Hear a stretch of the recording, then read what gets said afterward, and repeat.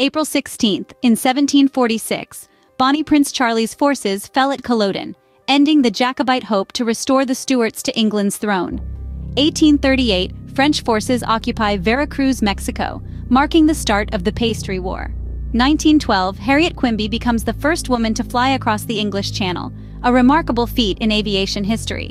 1917, Vladimir Lenin ends his 17-year exile, returning to Russia to form a provisional government. 1947, Kareem Abdul-Jabbar celebrates his birthday. 1962, Walter Cronkite, the most trusted man in America, takes the helm of CBS Evening News. 2003, Michael Jordan, basketball legend, retires from the NBA at age 40. 2007, a tragic shooting at Virginia Tech claims 33 lives. And in 2014, a South Korean ferry, Sewol, tragically capsizes, taking 304 lives with it. InfoGlimpse, subscribe for more.